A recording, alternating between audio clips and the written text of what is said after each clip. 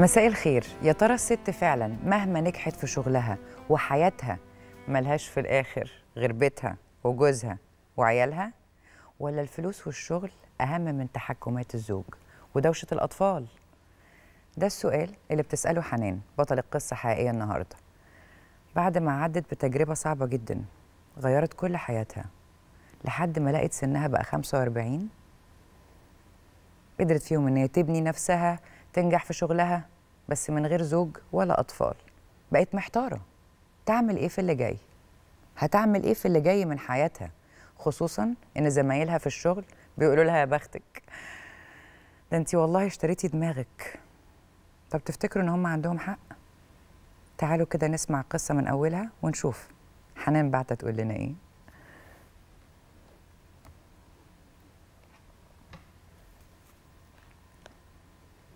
اسمي حنان. أنسة وعندي 45 سنة. من اسكندرية. قصتي بدأت من وأنا صغيرة خالص لما كان عندي سنتين وخدتني ماما معاها وهي مسافرة لأهلها. وركبنا القطر وفجأة وأنا نايمة حصلت هزة جامدة في القطر. لسه فاكراها لحد دلوقتي رغم العمر ده كله. وسمعت صوت خبط رزع ناس بتصرخ مع إحساس بألم رهيب. فجأة الدنيا اسودت في عيني غبت عن الوعي وعرفت لما كبرت شوية بدأت أفهم إنها كانت حادثة قطر. ماما توفت فيها أنا اتقطعت رجلي الشمال من فوق الركبة. عشت باقي حياتي بلبس قدم صناعي وعايشة بيه. الله يرحم والدتك يا حبيبتي. الحمد لله على سلامتك. الحمد لله على كل اللي يجيبه ربنا. طبعا اللي حصل لك مش شوية وأنا مقدرة وعايزة أسمع أكتر. أخدت وقت كبير عشان أتعافى من اللي حصل وسبب لي صدمة كبيرة خلتني لسنين كتير بصحى كل شوية على كوابيس. بس بابا وإخواتي كانوا جنبي دايما وما سابونيش. لحد ما كبرت أخدت دبلوم تجارة وتعينت بعدها في نفس السنة في مدرسة جنب بيتنا ضمن نسبة الخمسة في المية معاقين. اشتغلت أعمال إدارية حمدت ربنا ساعتها على النعمة دي. خصوصا إن كل حاجة كانت متيسرة. بس بعد التعيين بسنة بابا اتوفى. ما بقاش ليا غير أخويا الوحيد وأختين بنات. كلهم كانوا متجوزين ومخلفين. لما وصلت لسن ال 25 سنة كان في حد بيلمح إنه بيحبني وعايز يتقدم لي. وساعتها اتكلمت مع أخويا باعتباره ولي أمري وكبيري من بعد بابا الله يرحمه. فسكت شوية. وبعدين قال لي هتعرفي تفتحي بيت وتربي أولاد وتبقي أم وست بيت ناجحة جنب شغلك؟ أول ما سألني السؤال ده حسيت إنه فوقني. كنت مش عارفة أرد أقول له إيه.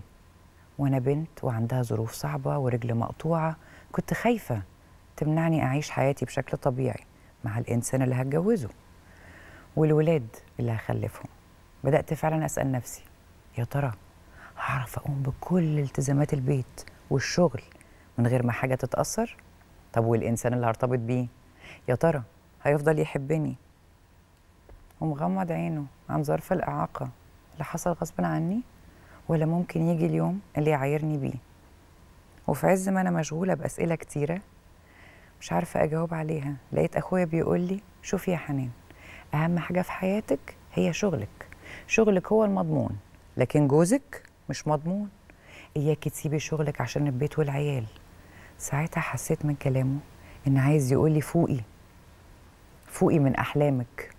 أنت ظروفك. ممكن تمنعك تكوني زوجة وأم ناجحة. لو سبتي شغلك واتجوزتي بعدين ما توفقتيش هتبقي خسرتي كل حاجة. لكن طول ما أنت بتشتغلي قادرة تصرفي على نفسك مفيش حاجة تانية ممكن تأثر عليكي. كان ممكن ساعتها أناقشه. واقول له ليه بتقول كده؟ مين اللي قال؟ مين اللي قال مش هعرف أكون زوجة وموظفة زي ما ستات كتير متجوزة وبتشتغل؟ ومتوفقة بين الاتنين البيت والشغل. بس خفت. خفت أفتح باب المناقشة خصوصا إني ما كنتش واثقة كفاية من إجابة تخليني أعرف أقول الكلمتين دول. بالعكس أنا فعلا كنت من جوايا خايفة من الاحتمالات دي وهو خوفني أكتر. طب أنا محتاجة أقف هنا. مين قال إن أخوكي لازم يكون كلامه صح يا حنان مش يمكن. لو كنت جربتي أو لما تجربي تلاقي نفسك ناجحة في شغلك وبيتك زي ستات كتير وظروفهم كمان شبه ظروفك عرفوا ينجحوا في الاتنين؟ عمري ما بقول إن الوقت اتأخر بس تعالوا نكمل. أخويا يا سالي كان متجوز من بنت عمي ومعاه خمس ولاد. عايشين مع بعض في الشقة على قدهم. ما كانوش مبسوطين. ودي نقطة كانت مخوفاني من المسؤولية والالتزامات. لحد ما قررت في الآخر إني أنسى موضوع الجواز عشان أهرب من المسؤولية. وقلت أهم حاجة أشتري صحتي وحريتي. وأنا فعلا ما بعرفش أربي ولاد. مفيش جنبي أم. هتساعدني زي ما كل الأمهات بتساعد بناتها وقت الحمل والخلفة. ومن وقتها كل عريس يتقدم لي أرفضه. رفضت عرسان كتير قوي وزمايلي في الشغل كانوا بيشجعوني ويقولوا لي انت كده عايشة ملكة وفي نعمة كبيرة من غير بقى ما زوج يتحكم فيكي ولا يقرفك أو يطمع في مرتبك ولا حما تفضل تتخانق معاكي كل شوية وتحرق لك دمك. وعيال بقى تهد صحتك بلا دوشة بلا ولاد بلا وجع قلب. وفي المقابل كانت أختي ومرات أخويا بيقولوا لي اتجوزي يا حنان اتجوزي وهاتي لك عيل يخدمك ويشيلك لما تكبري وتبقي عجوزة بدل ما هتلاقي نفسك فجأة محبوسة بين أربع حيطان. أنت دلوقتي بصحتك قادرة تشيلي نفسك. بكرة هتعجزي هتحتاجي لحد يساعدك ويونسك. مفيش حاجة هتدوم على طول. بس بصراحة كنت بميل لكلام أخويا أكتر. فضلت ثابتة على موقفي. مع الوقت أخويا عزل من البيت سابني لوحدي بقاله حوالي 8 سنين. وبعد فترة من عزاله حصلت مشاكل كتير بينه وبين مراته. سابت له البيت هي والعيال. خدت معاها بطاقة التموين بتاعته الدنيا ولعت ما بينهم. فسابها زي البيت الوقف. راح اتجوز من واحدة تانية في شقة بعيدة وخلف منها بنتين. ساعتها خليت أخويا يكتب لي بيت العيلة باسمي عشان ما حدش من عياله أو مراتاته ياخدوا مني. سجلت العقد بالمحكمة عشان أضمن حقي. وساب لي البيت قايل للسقوط وكنت خايفة على نفسي لحسن يقع بيا. عملت جمعيات رممت البيت على حسابي على أمل إن أخويا مع الوقت يرجع يعيش معايا هو وحد من ولاده. بس ده ما حصلش. أكتر من 8 سنين عايشة لوحدي. رافضة الجواز بسبب خوفي من إني ما أعرفش أربي العيال. أو ما أقدرش أتحمل مسؤولية بيت وشغل وزوج لحد ما حصل اللي أختي كانت حذرتني منه. بدأت صحتي تتعب جامد خصوصا مفاصل رجلي اليمين اللي بدأت تتعبني قوي عشان حمل جسمي كله عليها من بعد ما رجلي الشمال اتقطعت. بقيت غصب عني مهملة في شغل البيت. شغل المدرسة بقى تقيل عليا جدا. فوق ده كله أخويا اتفصل من شغله بعد جوازته التانية بسنة. شغال دلوقتي أعمال حرة. بيطلع له فلوس قليلة قوي مش مكفية بيته. بقيت حاسة إنه طمعان فيا بسبب إنه كل شهر يجي ويشتكي لي من ضيق الحال وقلة الفلوس وكتر الديون وطلبات مراته الجديدة اللي على طول مديناه وأنا ما أعرفش أقوله لأ عشان هو بالنسبة لي أب وأخ وحبيب. ودلوقتي الناس كلها فاكرة إن أنا معايا فلوس كتير قرايبي زمايلي في الشغل وجيراني. بيحسدوني عشان أنا لوحدي من غير زوج ولا أولاد ولا مسؤوليات زيهم وأنا يا دوب المرتب مكفيني بالعافية. صحتي تعبت جدا الكل طمعان فيا ما بقتش عارفة أنا كنت صح ولا غلط لما شلت موضوع الجواز من دماغي من عشرين سنة. ولا عارفة أرجع أفكر في الجواز تاني ولا لأ.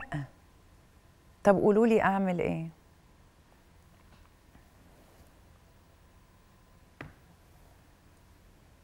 لحد هنا خلصت رسالة حنان. ممكن تكون رسالة متأخرة عشرين سنة.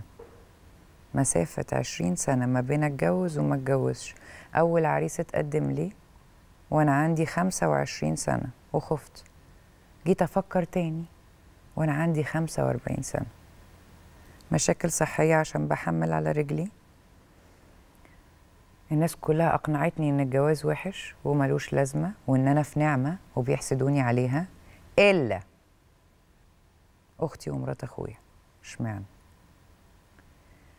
طب أنا رممت البيت وأخويا كتب لي البيت بس رجع وقال لي دي خدت بطاقة التموين خدتوا بالكم في النص؟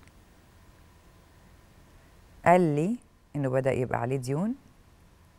ما بعرفش أقول له لأ لما يطلب مني فلوس. أصله أخ وأب وحبيب. أنا كنت صح ولا لأ؟ أتجوز ولا ما أتجوزش؟ استنونا بعد الفاصل.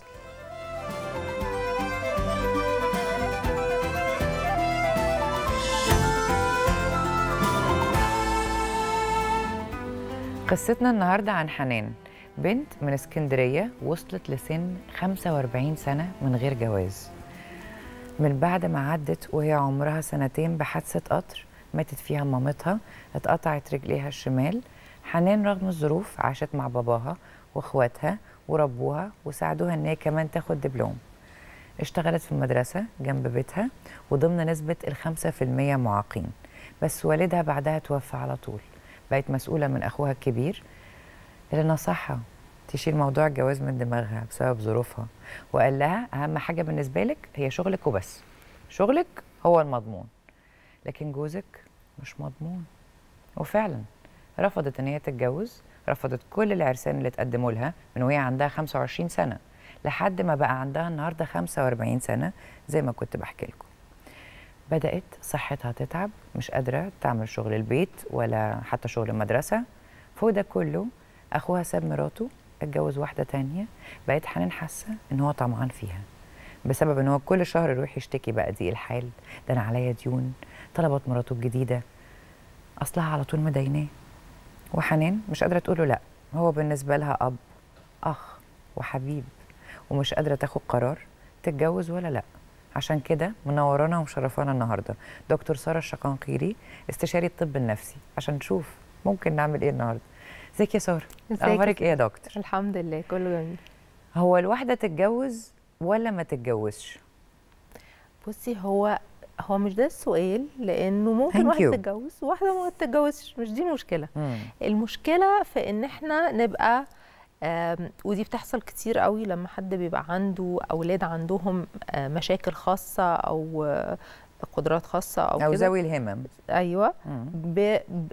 ساعات كتير من احتياجنا وحبنا لأولادنا واحتياجنا إن إحنا نحميهم بنوصل لهم صورة خاطئة عن نفسهم إن هم ما يقدروش مم. يعني بنخليهم يحسوا إن هم أضعف بكتير من حقيقة الأمر ده بيحصل بطرق كتير قوي. منها إن إحنا نبقى بنعمل لهم إحنا كل حاجة علشان آه، نريحهم أو نساعدهم. فهم ما يتعلموش إزاي يعرفوا يعتمدوا على نفسهم إزاي يعرفوا يستخدموا ال- ال- اللي عندهم أو القدرات اللي عندهم to the maximum يعني آه، جزء كبير قوي وجزء مهم قوي من اللي بيحتاجوا الناس اللي عندهم أي نوع من أنواع ال disability إن هم يتعمل لهم rehabilitation أو أو يعني إن أنا أخليه يقدر. ذاته أكتر تقدير ذات أو إن هو يحب نفسه أكتر وأديله ثقة في نفسه على قد ما أقدر مش أفضل أخدمه في كل حاجة بالظبط وأحسسه إن هو في وأعمل- ناقصة حبيبي. بالظبط وأخليه يروح يعمل بروجرامز وحاجات يعتمد على نفسه ويتصاحب على ناس يبقى و... عارف يعمل الحاجات مم. يعني يستخدم آه، مثلا آه، ايده عوضا عن الرجل يعني في طرق كتير قوي مم. في العلاج بتخلي الناس يعرفوا يعت- يعتمدوا على نفسهم حتى لو في جزء من القدرات طبعا ده مهم جدا إنه تأهيل الذات بس أنا عايز أسألك على حاجة هنا في رايين عندنا في القصة. في رأي آه، مرات أخوها وأختها إن هي. تتجوز.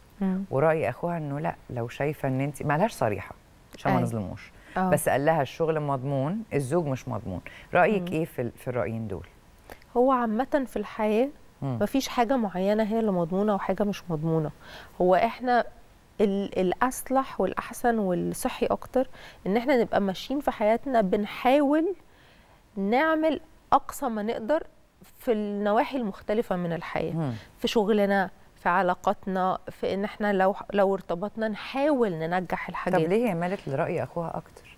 لما إحنا علشان نعمل هي خافت عندنا يا سارة. علشان هي خافت وعشان غالبا هي وصل لها المسج اللي أنا بقول لك عليها دي عن نفسها إن هي غير قادرة إن هي أضعف إن هي أقل.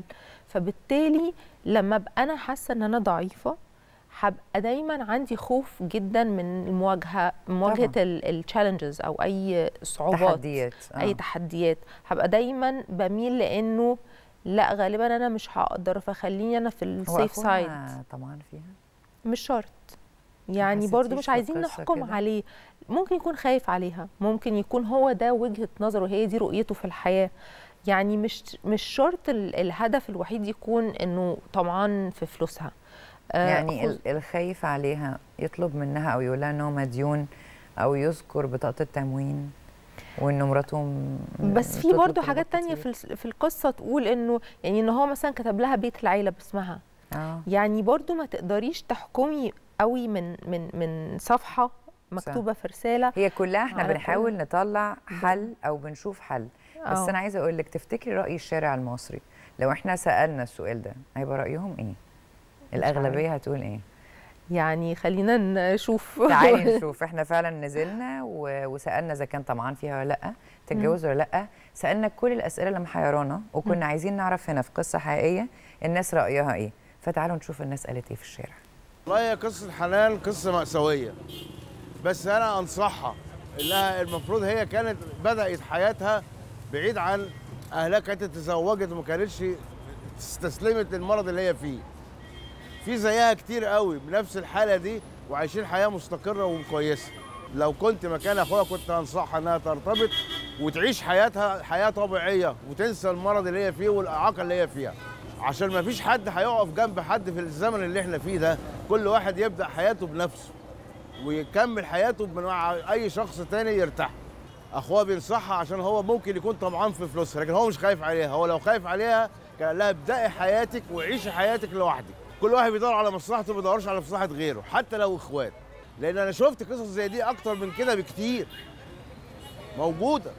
حياة موجودة. فدي قصة حقيقية. مفيش حد بيفوت قطر الجواز.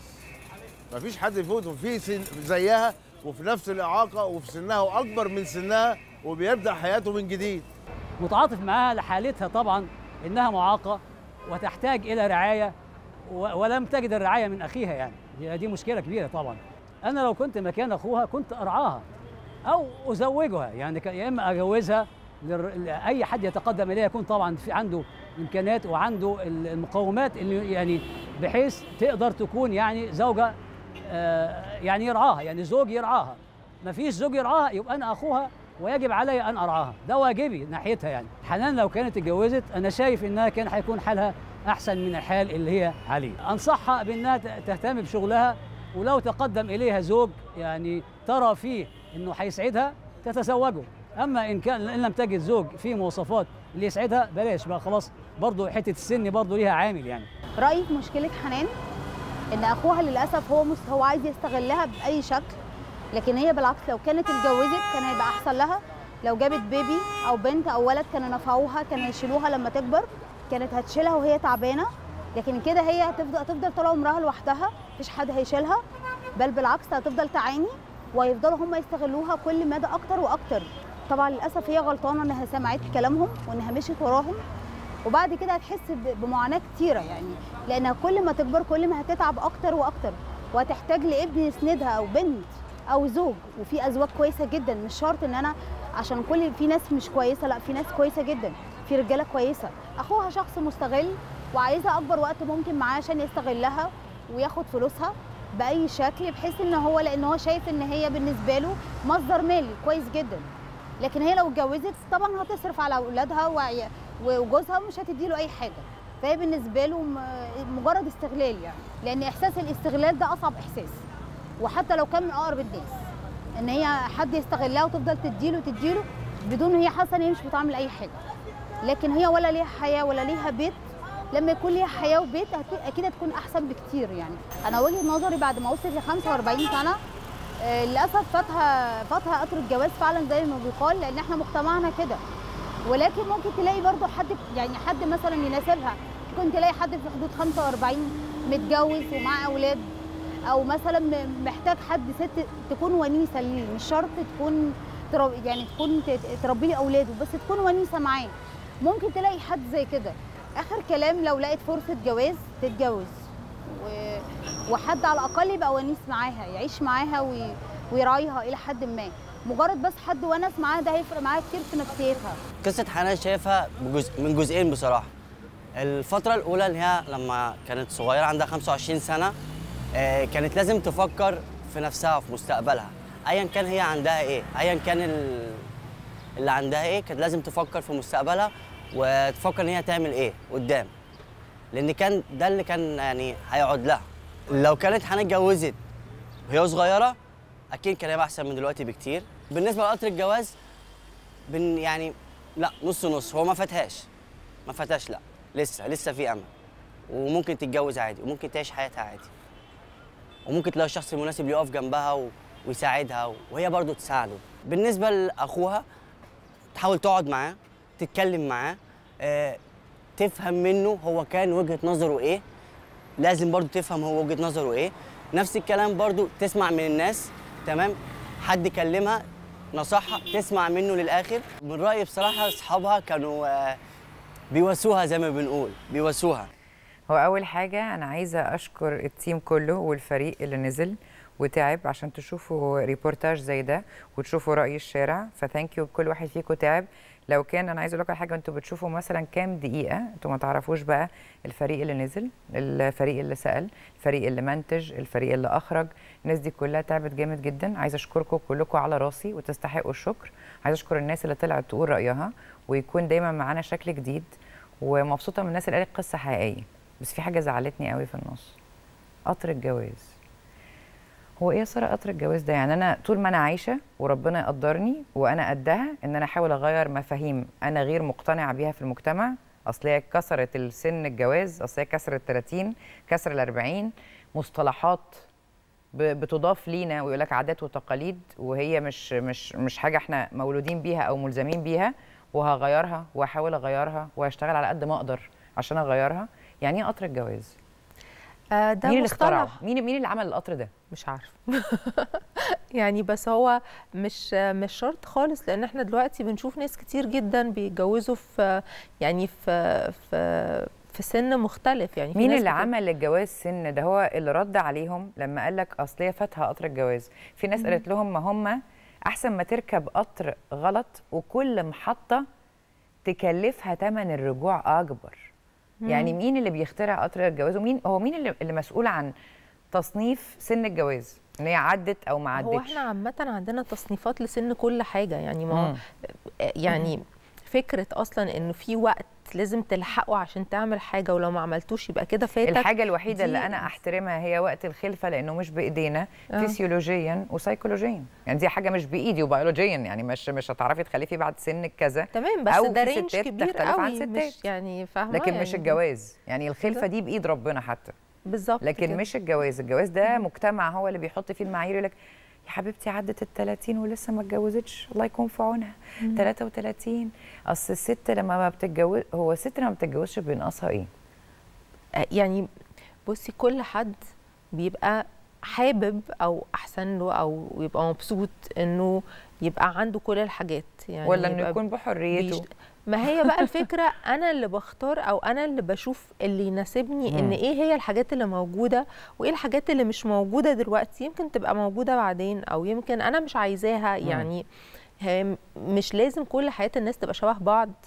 ومش لازم يبقى في ريفرنس واحد بيقول إنه عشان الواحد يبقى عايش حياة كويسة أو حياة آه، صحية لازم يبقى عنده واحد اتنين تلاتة أربعة. خدتي بالك في التقرير؟ أنا هبدأ لك من الآخر للأول.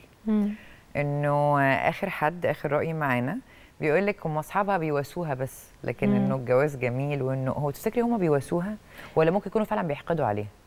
هم ممكن يكونوا هم شايفين مم. ساعات كتير الواحد بيبقى شايف الحتة اللي مش عنده. محدش عاجبه حاله. بالظبط. يعني لو أنا مخلفة وعندي أولاد كتير وتعبني وبجري وراهم وكده فشايفة ان اللي ما عندوش المسؤولية التقيلة دي هو عنده حرية أكتر عنده يقدر يستمتع بفلوسه مم. أكتر مش مضطر إنه يعني كل حد شايف الجزء اللي- اللي ناقص من عنده مم. حقيقة الأمر بقى كل حاجة في الدنيا فيها ال- الحاجات الحلوة والحاجات ال- طبعاً. ال- الصعبة فيها طبعا وكل حاجة أنا عايزاها لازم بيبقى فيه قدامها مقابل. فهي الفكرة تضحيات بتبقى مقابل ده. الساكريفايسنج مش مثلا إنه تضحيات هي مسؤوليات. مم. هي آه، مجهود بيحتاج يتعمل. بس مش يعني تضحية؟ مش لازم نسميها تضحية أصل التضحية دي عارفة تحسسك إن انت أنا ضحية. قضيت عمري كله وسط آه. الحلل عشان أربيكم. آه ده يا ده, ده. إحساس ضحية كده. يا لا، ريتك ما قضيتي. عمرك وسط الحلل ولا ربيتينا. مثلا. فبتحسي إنه. كده. طب انت آه. قعدتي تقولي لي قبل ما نشوف التقرير قلتي لا مش حاسة ان اخوها طمعان. ليه يا سارة مش شرط. مع ان الأغلبية قالوا لك آه ما هو إحنا برضو؟ مش عايزين نبقى دايما عندنا سوء ال... يعني افتراض سوء النية في الآخرين هي كده مش افتراض سوء النية بس هي آه. مواقفك وكلامك مواقفه وأسلوبك اللي آه. بيخليني أفهم انت إيه آه بس إحنا دلوقتي إحنا شفنا بعد 20 سنة إن هو طلق واتجوز واحدة تانية والتانية يعني حصل له ليه مش ظروف أحيانا بيقول لك برمي لقدام. وارمي لك حاجة آه. عشان تأمني ما كل ده في الآخر انت لا عيل ولا تايل زي ما بيقولوا فأنا بصي كلها افتراضات يا سالي يعني إحنا ما عشناش مع الراجل ده عشان نعرف هو عمل كل مواقفه معاها في خلال حياتها كانت عاملة إزاي طب هي ليه هي دي؟ بتثق فيه ليه ما هو برضو ما هي اللي فتحت لنا ال- الباب ده يا سارة يعني مم. هي اللي راحت قايلة أنا آه، حاسة إن هو ممكن يبقى طمعان طالما الشك دخل مم. مش بتبدأي هي؟ دلوقتي حاسة بعد ما هي بقت خ- 45 سنة وهو حصل له كل الظروف دي. بس هل هو لما هي كان عندها 25 سنة من 20 سنة كان عارف إنه هيطلق وحي مش عارفة هيجرى له إيه. و...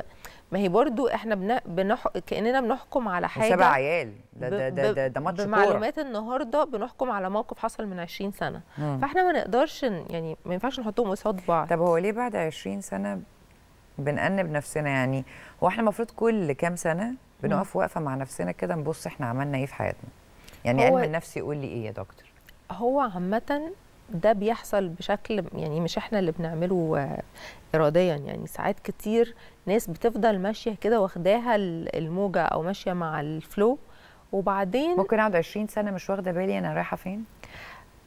ممكن لغاية ما يحصل trigger معين ي ي ي- trigger زي إيه؟ يعني إيه اللي, إيه اللي يحصل يخليني أفوق؟ يعني في ال في ال في ال example بس مثلا بتاع مم. ال story بتاعتنا أو القصة بتاعتنا ممكن يكون ال trigger كان إنها حست إن صحتها تعبت فمجهود الشغل بقى كتير عليها. طب أنا عندي إيه غير شغلي؟ إيه ده؟ طب أنا ما عنديش اطفالي يقفوا جنبي؟ يعني بيحصل حاجة تلخلخ لنا المعتقد اللي إحنا ماشيين بيه. فابتدي أنا بقى أرجع أتساءل. محاسبة الذات بقى. وبعدين أرجع أتساءل طب إيه ده؟ طب أنا القرار اللي خدته كان مظبوط كان غلط؟ طب أنا ممكن أغيره دلوقتي؟ طب يعني بنبتدي يطلع يعني أسئلة كده. وممكن جدا يكون في خلال العشرين سنة التساؤلات دي كانت بتيجي وبتروح وهي لخمة نفسها في الشغل. طب إزاي الواحد يبقى عارف إن هو قادر أو غير قادر على الخطوة اللي جاية.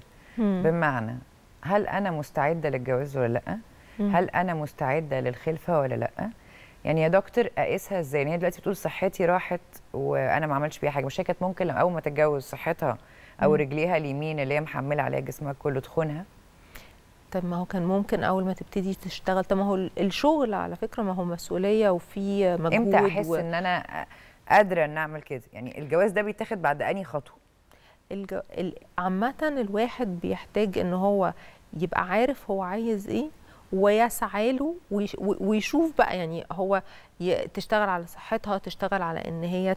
تعمل مثلا علاج طبيعي تشت... مم. يعني الواحد بيحتاج هو يعمل مجهود علشان يحاول على قد ما يقدر يبقى قادر على اللي هو عايزه لكن الف... التفكير بالمشقلب مش مظبوط اللي هو لما ابقى أقدر إن شاء الله أبقى أعمل مم. ساعات كتير عمري ما أنا ما أنا قاعد بقى مستني إن زي ما كل واحدة. فينا ممكن تختار الزوج حسب احتياجها يعني مم. أنا مثلا محتاجة إنه إنه مثلا حد يبقى غني قوي أنا مم. محتاجة حد يشيل معايا مسؤولية العيال ويبقى أب قوي عنده ال- ال- الأبوة رهيبة وكده. المسؤوليه آه. محتاجة حد كجود كومباني نقعد نسمع الست ونشرب شاي العصاري ونتكلم كلمتين ولا ممكن كل يكون واحد عنده حاجة و- مختلفة فعلا. يعني كل واحد فينا بيبقى ليه فعلا الاحتياج اللي يهمه هو يخصه هو.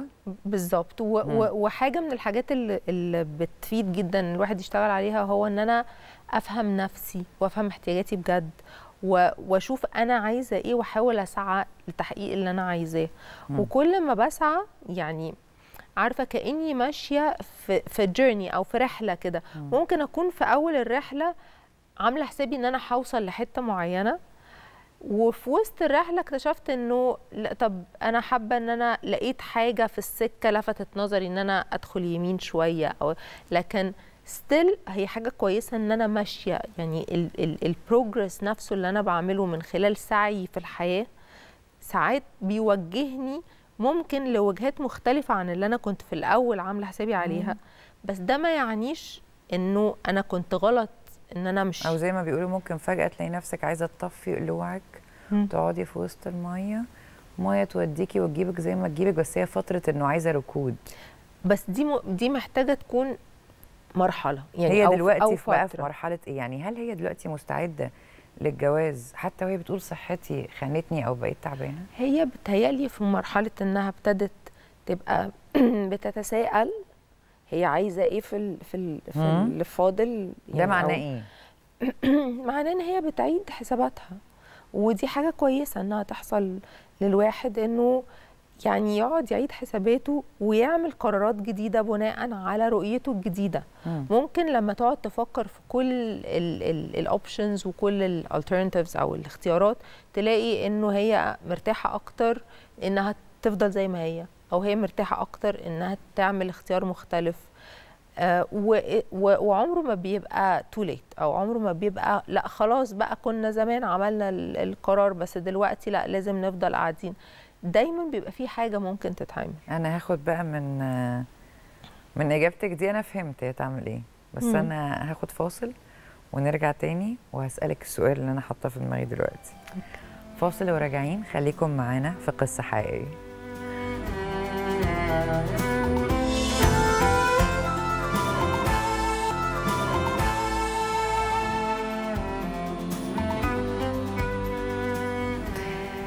طب هو فعلا الست مهما نجحت واشتغلت ملهاش غير بيتها وجوزها وعيالها ومطبخها؟ طب أني أحسن تتجوز؟ ممكن ما تبقاش سعيدة في بيتها. ولا ما تتجوزش تبقى ناجحة في شغلها. ده أهم سؤال. خرجنا بيه النهارده من قصة حنان. محتاجين بقى نفكر في إجابته؟ مش عشان حنان وبس لا. إحنا بنتكلم عن بنات كتير بتتفرج علينا. منهم اللي بيفكر بنفس الطريقة. ومنهم اللي أهله عقدوه أو عقدوها. فاتك قطر الجواز. هتلحقي إمتى؟ هو بتلحق تخلف وتتجوز و... لا وبعدين في التاني يجي يقول لك إيه؟ هتشدي حيلك إمتى؟ هي هت... هتجيب العريس منين؟ هيطلع من التلاجة؟ بجد بتعملوا لود على كل بنت أو ضغط مرعب. والله العظيم بقيت أشوفه كتير قوي. الأيام دي بالذات.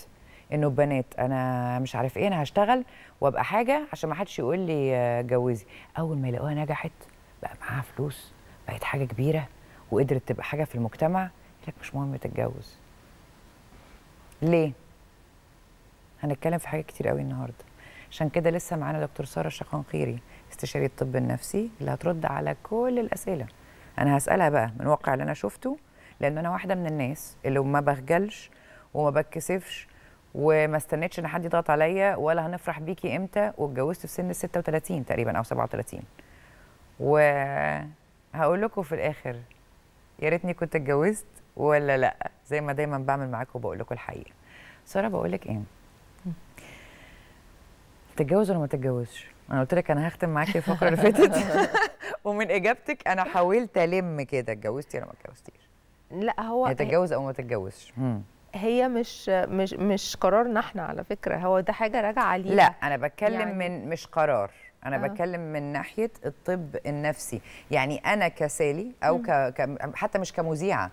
ك... كست ممكن تكون آه اتجوزت على سن كبير مع إن أنا ضد إنه اتجوز على سن كبير. أنا اتجوز وقت ما ألاقي حد مناسب وبالنسبه ووقت ما أكون أنا. مستعدة وقت ما أكون أنا شايفة إن هو وقت دي القرار اللي وقت أنا وقت مناسب ليا. بالظبط. أنا خلاص مش حاسة إني عايزة أكون نفسي مش حاسة إن البني آدم ده هيعطلني.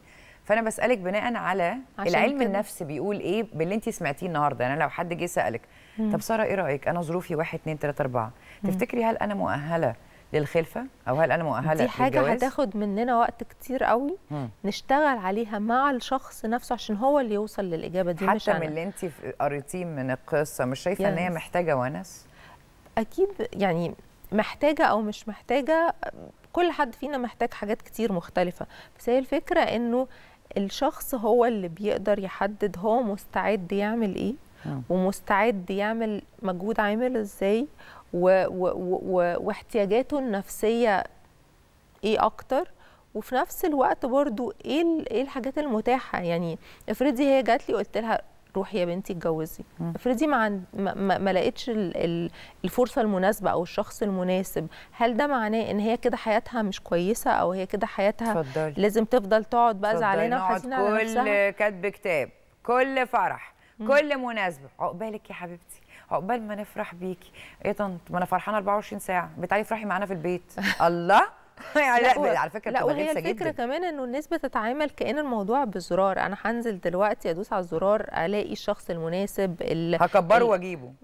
يعني ما هي كلها يعني إحنا محتاجين ندرك إنه الحياة عبارة عن فاكتورز كتير قوي وكل واحد بناء على ظروفه وبناء على اللي متاح قدامه وبناء على قدراته وبناء على احتياجاته بيبقى اللي يناسبه حاجة مختلفة غير التاني مم. هي الفكرة كلها إن محدش يحجر على رأيها يعني طبعا. ولا حد يصدر لها فكرة تشككها في نفسها زي إنه لأ انت مش هتقدري أو لأ انت اوعي تعملي كده لازم اللي اللي يناسب الجميع مم. آه يعني اللي أنا هقوله دلوقتي اللي هو مواصفات الزوج اللي ما بيعايرش. هو أنا أضمن منين يا سارة. إنه مثلا خلي بالك هو أنا مش بتكلم على إن هي حتى تكون من ذوي الهمم أنا بتكلم إن كل واحد فينا. آه في حاجة في نفسه يعني في حاجة في, في شكله مش عاجباه في حاجة في جسمه مش عاجباه في حاجة في, في وشه مش عاجباه وما بنقولش عليها لاننا بنخاف إن الناس تعرف عيوبنا أو حتى شخصيتنا بنحاول نظهر أحلى ما فينا. بس أنا أضمن منين؟ إن اللي قدامي ده لو حاجة باينة له قوي مم. وأنا مش هعرف أداريها مش حاجة أيوة. بإيدي يا ربي آه. فما اضمن منه ما يعايرنيش يعني هل لو هي اتجوزت مش ممكن يعايرها هو أي أي. حد لو اتجوز أو لو عمل أي خطوة أو لو ارتبط بأي شخص ممكن وارد إن الشخص ده يعمل أي حاجة مش بس يعايرها ممكن واحد يعاير حد ممكن واحد يضحك على حد ممكن واحد ياخد فلو- يعني مفيش ضمانات ما سارة لا هي الفكرة كلها في إيه بقى اولا أنا مهم إن أنا أصلح صورتي الذاتية عن نفسي لأن هي دي اللي بتحميني وهي دي اللي بتخليني في الآخر أبقى بفلتر الناس بناء على اللي بيعرف يعاملني بما أنا أستحقه واللي بيقلل مني أو يعني ده مش كلام إنه أحب نفسي زي ما أنا عشان الناس تحبني أحب نفسي وأقدرني مم. فبالتالي أنا أبقى عارفة إيه اللي اقبله وايه اللي ما اقبلوش إيه اللي يناسبني وايه اللي ما يناسبنيش.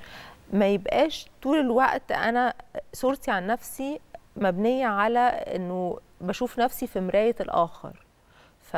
فبالتالي لو مع واحد بيحسسني إن أنا قليلة أبقى شايفة نفسي قليلة فعلا طبعا. فافضل مستنية و- وده ومستحملة. كلام بجد إنه والله العظيم حتى لو بنتكلم في الدين حتى لو بنتكلم في علم النفس يقول لك إنه ضحكة الست اللي بتبين الراجل اللي معاها إيه. يعني أنا لما أشوفك وأبص على وشك وأبص على نفسيتك بيبان الراجل معاكي خلاص يا حبيبتي عرفت. يعني متخانقة متصالحة هو كويس مش كويس. بس أنا عايز أسألك على حاجة وسؤال مجتمعي خبيث جدا وأنا يمكن أكون برفضه وهختم بيه بس هو السؤال لازم يتسأل. أوكي. يعني هو هو أنا مش عاجبني السؤال بس هو لازم يتسأل. إيه السؤال؟ هو الجواز بيخلي الست تبقى كويسة وصحتها كويسة ونشيطة وجميلة وما بتكبرش ولا بيخليها دايما في نكد وزعل وشايلة مسؤولية وبدأت دوامة الحياة. ما فيش ما فيش تعميم لحاجة زي كده. هو ال الشخص هو اللي بيعرف إزاي يسوق حياته أو يمشيها في direction تخليها حياة صحية أو ممكن تخليها حياة غير صحية. فمش عايزين نعمل generalization إنه الجواز بيحلي الجواز بيطفي الجواز بيوحش الج- بس إحنا عاملين إنه الف- لو إحنا الفكرة- بنعمم في حاجة يقول لك آه. الطلاق بيحلي يقول لك الست بتطلق من هنا تبقى ده ده مش حقيقي. الحلاوه دي. آه ليه بقى؟ أنا نفسي أفهم إيه المفهوم المجتمعي ده؟ علشان إيه؟ ده ممكن يكون بسبب انه الواحد وهو حزين وهو stressed وهو drained يعني أو في علاقة آه، آه، مؤذية أو كده بيبقى مش مش عارف ياخد باله قوي من نفسه. لما الحكاية دي بتاند أو أو بنعرف نخرج منها آه، بيبقى قادرين بقى ان إحنا نشتغل على نفسنا نرجع آه، ناخد بالنا من نفسنا نراعي صحتنا طبعا. وهكذا. لكن أو مش شرط بتخرجي من يعني حاجة افرضي كانت إن حد كان أو. أو افرضي كان حد كان في علاقة كويسة وبعدين العلاقة دي انتهت بالطلاق هل شرط إن هي هتحلو بعد لا يعني مفيش generalization عامة ما نقدرش أو نعمم ما نقدرش ما نقدرش حاجة. نعمم هي الفكرة كلها. آه، محتاجين نبقى عارفين ال details والتفاصيل بتاعة الحياة عشان نعرف نقيم كل تجربة عن ح- على حدة. وبتاعت نفسنا يا سارة. محتاجين كل واحد يفهم هو عايز إيه. تقعدي مع نفسك وتعرفي انت عايزة إيه. yes و- ومحتاجين نفهم إنه مفيش reference واحد إيه الحاجات اللي لازم تتوفر في حياة نموذج الإنسان نمشي عشان عليه كلنا. بالظبط عشان يبقى إنسان عايش حياة كويسة.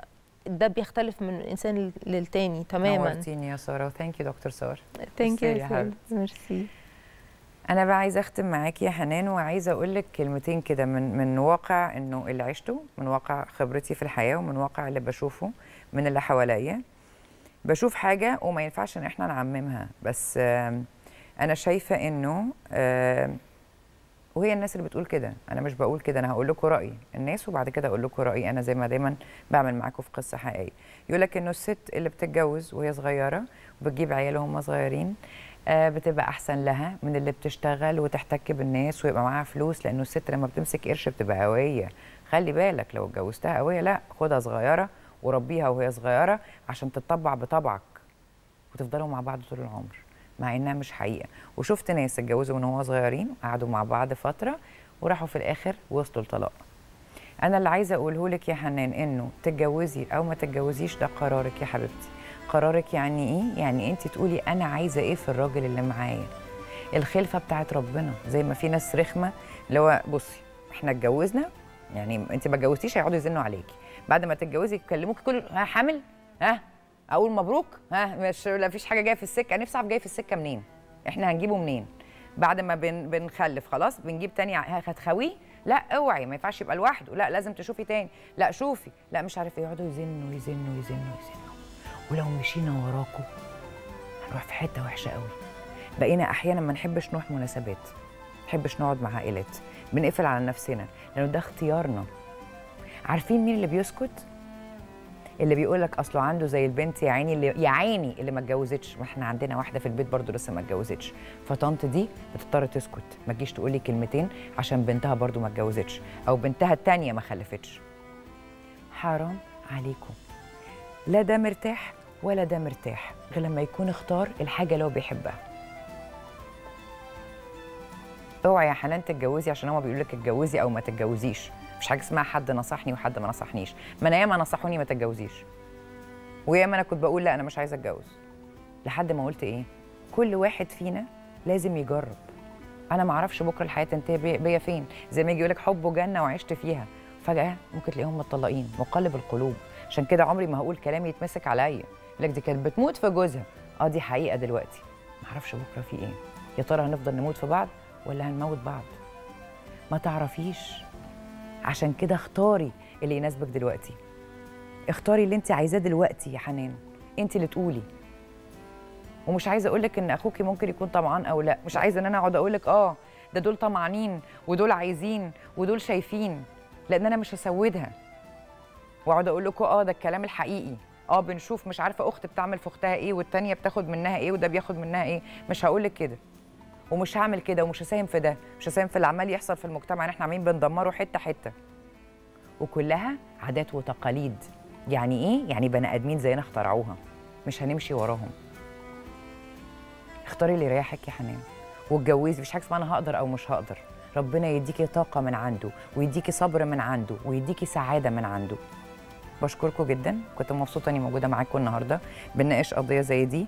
وبنشوف إنه ذوي الهمم والجواز والطمع والفلوس في حلقة واحدة.